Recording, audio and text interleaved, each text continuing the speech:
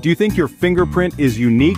Hmm, let's see. A group of researchers are tackling this with groundbreaking AI research. This team is challenging the long-held belief that every fingerprint is distinct. By delving into a vast database of 60,000 fingerprints, they discovered that the angles and starting points of fingerprint ridges might not be as unique as previously thought.